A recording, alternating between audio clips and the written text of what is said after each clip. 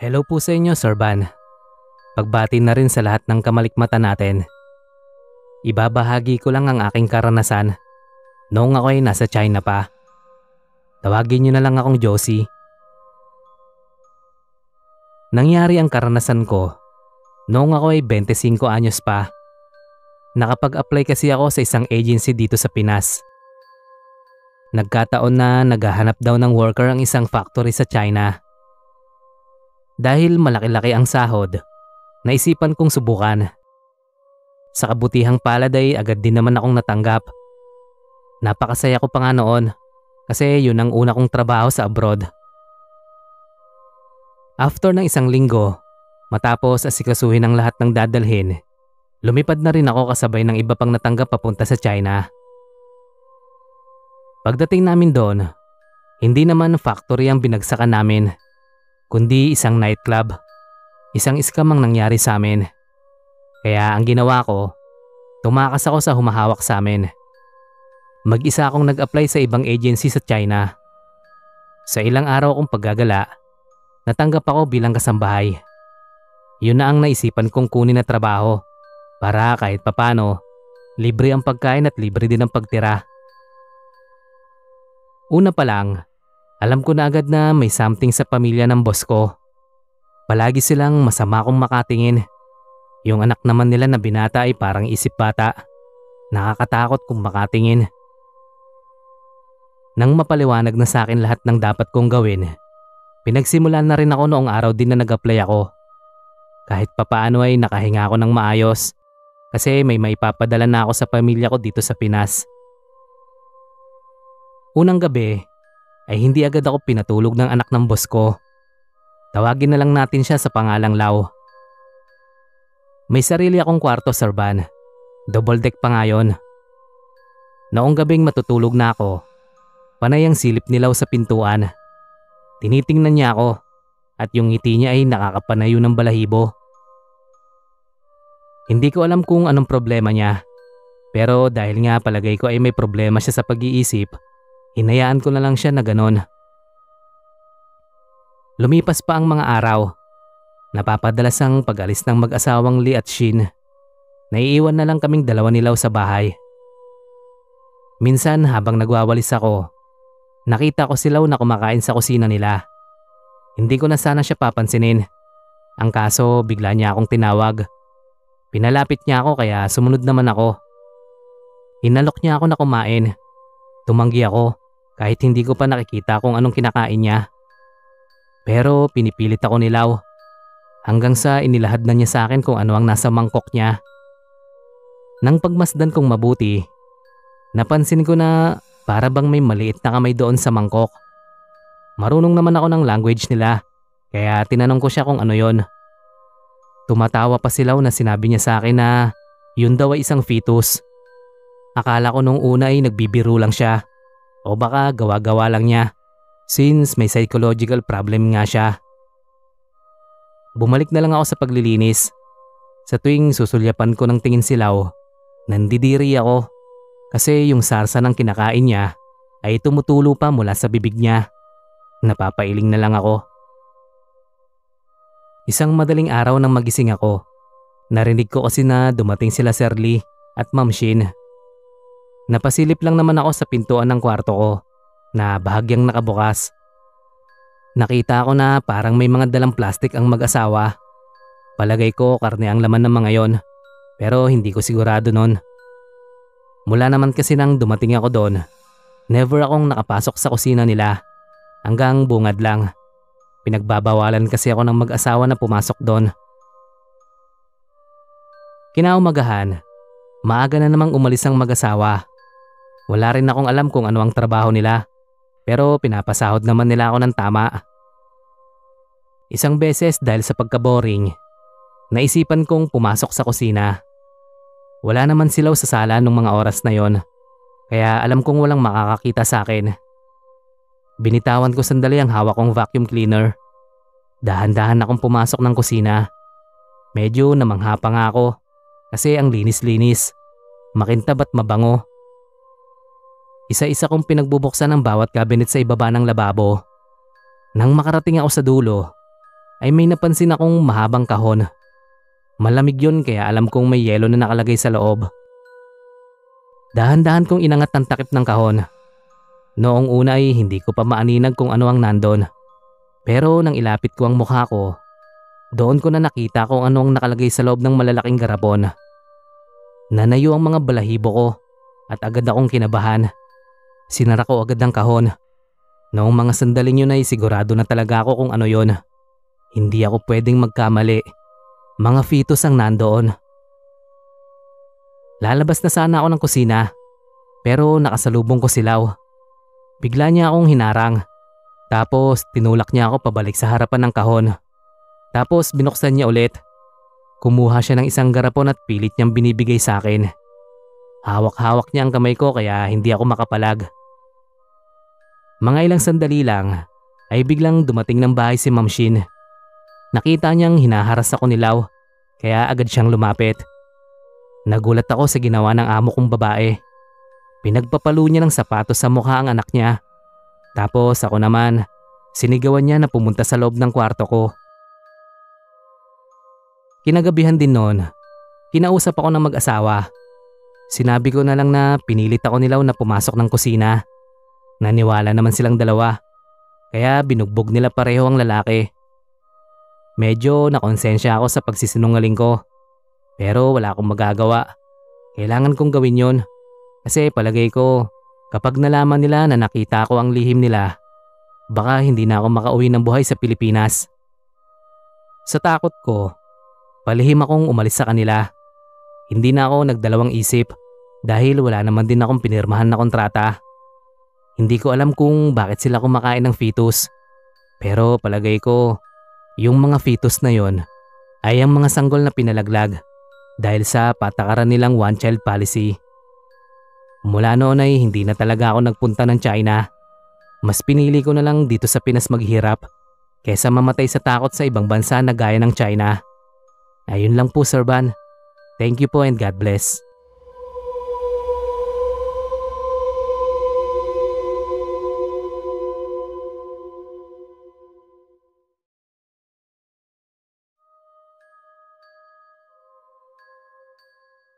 Tawagin nyo na lang akong Ses Sir Van. Pagbati po sa inyong lahat. Magandang umaga po. Isa-share ko lang ang experience ko noong nagtrabaho ako sa Tokyo, Japan year 2005 ay natanggap ako sa inaplayan ko at agad akong pinalipad ng agency sa Japan. Ang trabaho ko doon ay teacher. Nagtuturo ako ng wikang Ingles sa mga Hapon na gusto talagang matuto. Mababait naman ang mga Hapon pero may mangilan-ngilan lang talaga na weirdo. Gaya na lang ng kasama ko sa apartment. Tawagin na lang natin siyang Yuri. Malaki ang apartment Palagay ko ay lalagpas sa 15 ang kwarto doon. Meron ding tambayan sa gilid at may garden. Pero ang mas napansin ko doon, si Yuri na madalas na nakatambay sa balon. Kung minsan nga pag uuwi ako ng madaling araw, napagkakamalan ko si Yuri na white lady. Kapag kakausapin ko naman siya, tumitingin lang siya sa akin. Ni isang salita ay walang lumalabas sa bibig niya. Napapangisin na lang ako kapag ganun ang nangyayari. Nang mag-isang buwan na ako doon, nagtataka ako kasi bigla ko na lang hindi nakikita si Yuri. Hindi ko rin naman alam kung anong room number niya kaya hindi ko alam kung papaano ko siya kakausapin. Ewan ko ba Sir Van, every time na makikita ko kasi siya, parang kailangan ko talaga siyang kaibiganin. Hindi ko alam kung dahil lang ba yun sa nakikita kong lagi siyang mag-isa o talagang may something sa kanya. Nagtanong ako sa ilang boarders doon sa apartment kung nasaan na ba si Yuri. Nagtataka lang sila sa akin kasi wala naman daw silang kilalang Yuri. Kahit na ilarawan ko sa kanila yung itsura ni Yuri, hindi pa rin nila matandaan. Kaya nang makakuha ako ng pagkakataon para makausap naman yung landlady, tinanong ko siya tungkol kay Yuri.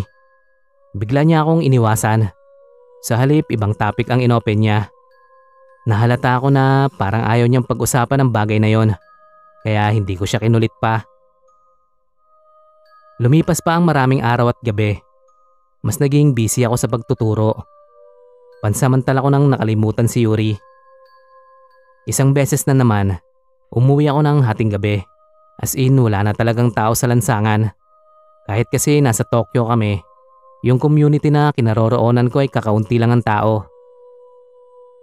Napadaan ako sa isang convenience store. Hindi ko alam kung totoo ba yung nakita ko o namalikmata lang. Napansin ko kasi si Yuri sa loob. Pero nang pumasok ako, wala na siya doon. Napailing na lang ako at naglakad papunta sa apartment. Pagpasok ko sa gate, napatingin agad ako sa balon. May nakita akong nakaupo doon na babae. Pero kahit nakataligod siya, alam ko agad na hindi yun si Yuri. Naglakas loob akong tanungin yung babaeng mahaba ang buhok at nakasuot ng kulay puti. Nang humarap ang babae, ay napamura ako sa nakita ko. Sobrang puti ng mukha niya. Yung mga mata naman niya ay namumula. Ilang sandali pa ay bigla na lang siyang natumba. Nakita ko na lang na gumagapang na siya palapit sa akin. Hindi na ako nagsayang pa ng oras. Tumakbo na ako paalis. Pumunta agad ako sa kwarto at nagsara ng pinto. Sumilip ako sa bintana ko kung saan tanaw ang balon. Nakita ko pa rin doon ang babae na nakaupo. Agad kong sinarado ang bintana nang bigla siyang tumingala sa akin. Noong mga sandaling yon Sir Van, sobrang nangingilabot po talaga ang sistema ko. Tayong tayo ang mga balahibo ko. Sobrang lakas ng tibok ng puso ko. Hindi pa doon nagtatapos ang lahat Sir Van. Habang nasa loob ako ng kwarto ko, Nakakarinig ako ng iyak ng isang babae. Malakas ang pakiramdam ko na nanggagaling yun sa babae sa balon. Kinaumagahan ay maaga akong nagising kahit na alas 4 na ako nakatulog. Buti na lang ay wala akong pasok noong araw na yon. Kaya kahit papano ay makakapagpahinga ako. Paglabas ko ng room ko, may kumausap sa akin na magkasintahang Japanese. Akala ko nung una ay makikipagkaibigan lang sila. Pero nang nasa convenience store na kami, bigla nilang inopen ang tungkol kay Yuri. Medyo natuwa naman ako kasi sa wakas may balita na rin sa kanya. Pero iba ang inaasahan ko sa bagay na malalaman ko nung umagang yon. Ang sabi ng lalaki sa akin, kapatid niya raw si Yuri. Si Yuri daw ay parang naposes ng isang demonyo. Kaya kahit daw patay na si Yuri, ay nagpapakita pa rin sa akin. Sabi naman ng babae, yung nakita ko raw na babaeng mahaba ang buhok ay hindi raw si Yuri. Si Harana daw yon. Ang babaeng hinulog ni Yuri sa balon ng dahil sa selos. Sa madaling sabi, pinatay pala ni Yuri ang babaeng nagpapakita sa akin. Dagdag pa ng magkasintahan. Pagkatapos daw malunod ni Harana, parang biglang sumasamba na sa demonyo si Yuri. Makailang araw nga lang daw, natagpuan na lang na wala ng buhay si Yuri. Wala namang sugat wala rin namang nakitang sakit sa kanya. Hindi matukoy kung anong kinamatay. Pero may hinala raw sila na may kinalaman ang mga kakaibang kinikilos ni Yuri. Hindi rin naman nila masabing nagpakamatay dahil nakahiga lang si Yuri ng matagpuan. Pinayuhan ako ng magkasintahan na lumipat. Kapag tumagal daw kasi, aakalain na ng multong si Harana na ako si Yuri dahil sa mismong kwarto ko doon din pala nangungupahan noon. Kaya ang ginawa ko ay sinunod ko na lang ang sinabi nila. Ganon din naman ang sinabi sa akin ng ibang boarders.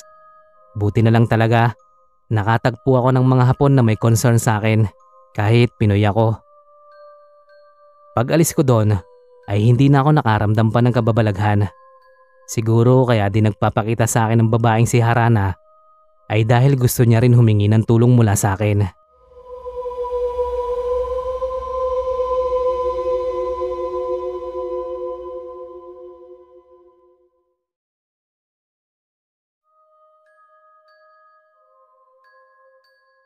Hello po Sir Van. Tawagin niyo na lang po akong Angeline. Isa po akong OFW dito sa US. Nagtatrabaho ako bilang isang nurse sa kilalang hospital sa Amerika na kung saan ay hindi ko na lang po sasabihin kung ano. Wala akong permanenteng ospital na pinapasukan. Pero itong last na pinasukan ko ang mas tumagal ako. Dito na rin ako huminto at nagdesisyon na umuwi na lang ng Pinas. Ganito po kasi ang nangyari. Isa ako sa mga nurse na naka-assign sa isang mayamang negosyante na matanda na. May sakit sa baga ang pasyente. Dahil yayamanin nga itong pasyente. Bilang lang sa daliri ang mga pwedeng pumasok sa loob. Ang duty ko doon ay alas tres ng madaling araw. Ako ang nag-check ng status ng pasyente. Sanay naman ako, kaya kahit na mag-isa na lang ako, walang problema sa akin. Habang naglalakad ako papunta sa room ng VIP patient, may natanaw akong nakaitim na lalaki na pumasok doon. Dali-dali akong tumakbo para pigilan sana ang lalaki. Pagdating ko doon, agad kong tinulak ang pinto. Bumungad sa akin ang bantay ng patient na babae na sa pagkakaalam ko ay anak yata. Tinanong ko siya kung may pumasok bang lalaki na nakaitim na mahaba ang suot. Nagtataka lang yung babae sa sinabi ko. Umiling lang siya. Pag-check ko ng buong room, kaming tatlo lang ang nasa loob. Napapailing na lang ako. Uminom na lang ako ng kape sa pag-aakalang dala lang yun ng antok. Makalipas ang ilang minuto ay bumalik ako ulit. May ihahatid lang sana akong gamot ng pasyente. Habang nasa hallway pa lang ako, natatanaw ko nang may tao sa labas ng pinto ng pasyente ko. Napahinto ako dahil yun ang lalaking nakaitim. Nakasombrero pa nga ng bilog. Dahan-dahan akong naglakad ulit palapit doon. Who are you? What can I do for you, sir? Tanong ko pa sa lalaki sa pag-aakalang normal siyang tao. Nang humarap siya sa akin, ay napaiba na lang ako ng direksyon ng tingin. Nagtayuan agad ang balahibo ko. Maniwala man kayo o hindi, Sir Van, pero wala po siyang mukha. Mga ilang segundo nang ibalik ko ang tingin sa kanya ay wala na siya sa harapan ko. Hindi ko alam kung saan siya napunta. Ang alam ko lang nung mga sandaling yon ay may masamang mangyayari. Pagpasok ko sa room, ay chinek ko ulit ang pasyente. Nakahinga ako ng maluwag nang malamang okay naman siya. Pagkatapos ng duty ko, kinausap ko yung kana na katrabaho ko. Nagtanong ako sa kanya tungkol sa naranasan ko. Ang sabi niya sa akin, ang nakita ko ay baka raw sundo ng pasyente. Kadalasan nagpapakita ang mga ganon sa mga taong pagod at wala pang tulog. Hindi ko alam kung paniniwalaan ko ang sinasabi niya pero hindi ko maikakaila na kinilabutan din naman ako. May naproom kami sa ospital at doon na muna ako nagpalipas ng oras. Mga bandang alas 5 na yata ng mga sandaling yon habang nagpapaantok ako sa double deck Napansin ko na may nakatayo sa ulunan ko. May matangkad kasing anino.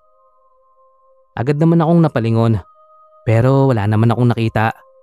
Napahawak na lang ako sa dibdib ko sabay hinga ng malalim. Ipipikit ko na sana ulit ang mga mata ko. Nang biglang may maaninag naman akong nakatayo sa may pintuan. Hindi ako pwedeng magkamali. Iyon ang lalaking nakatayo din sa labas ng pinto ng pasyente namin. Sa takot ko ay napatakip na lang ako ng unan. Kinabahan ako nung time na yon Sir Van. Pakiramdam ko ay mamamatay na rin ako, kaya ako sinusundo. Napa-sign of the cross na lang ako.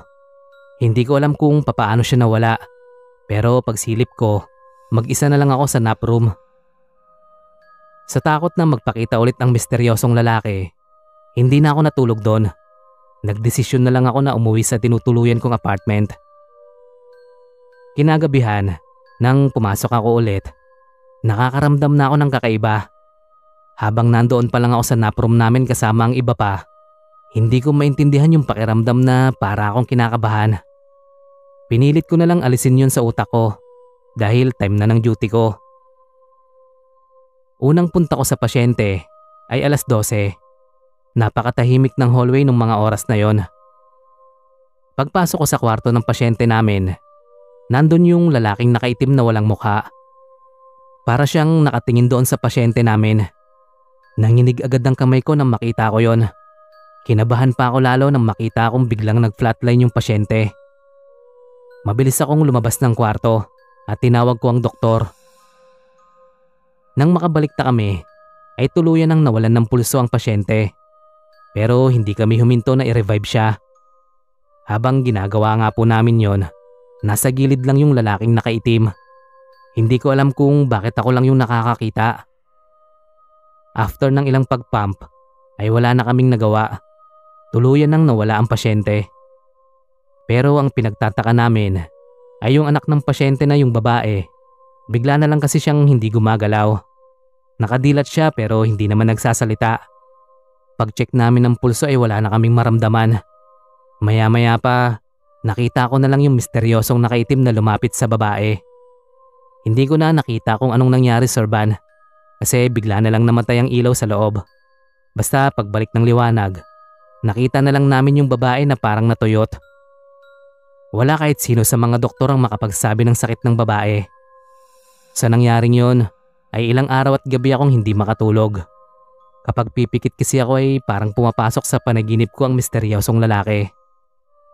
Nawala lang yun na magpa-check up na ako sa isang psychiatrist. Hanggang ngayon Sir Van, hindi ko pa rin malaman kung ano ba talaga ang lalaking yon. Pero thankful ako kasi mula nang malipat ako ng hospital ay hindi ko na siya ulit nakita.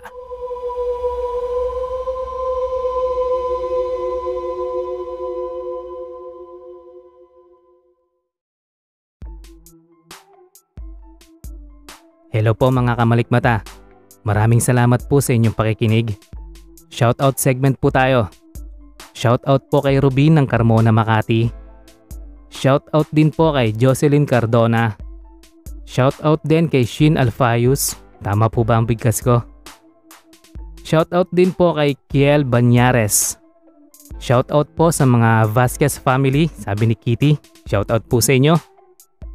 Shoutout din po kay Shane Lawagan.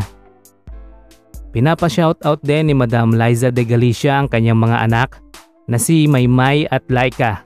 Shoutout po sa inyo, maraming salamat po.